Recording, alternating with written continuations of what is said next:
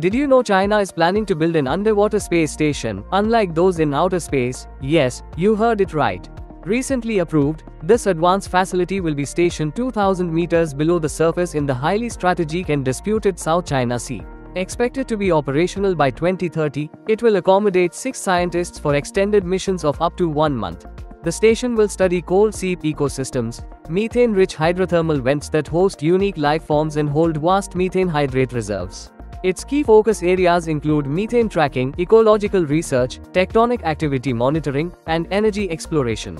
It will be equipped with cutting edge tech, including a long term life support system and a four dimensional surveillance network that works with unmanned submersibles and surface ship. This facility will be among the most advanced underwater installations, enhancing China's deep sea capabilities. With China expanding its dominance underwater, should India invest in its own deep sea defense technology? What do you think?